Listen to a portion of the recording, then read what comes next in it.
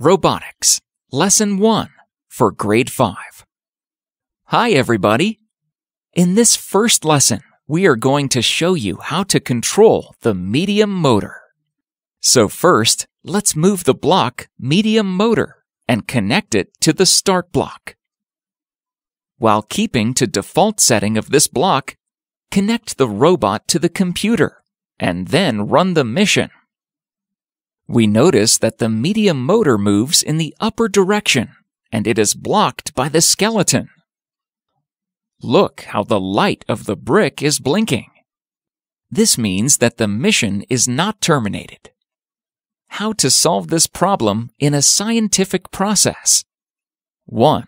I click on the Port View tab. 2. I raise up to medium motor to the maximum.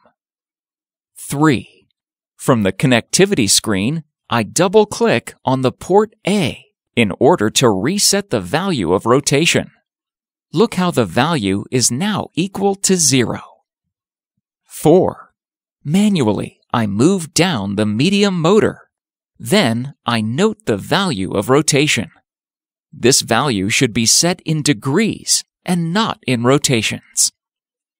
Once the medium motor is set to the correct value, see how I can move the arm of the robot up and down in order to catch the cube. It is now time for practice. Let us build the mission that lets the robot move forward at a speed of 20. Stops when the green color is detected. Lower the arm of the robot to catch the cube. Move backward for 70 centimeters. Then raise up the arm in order to release the cube.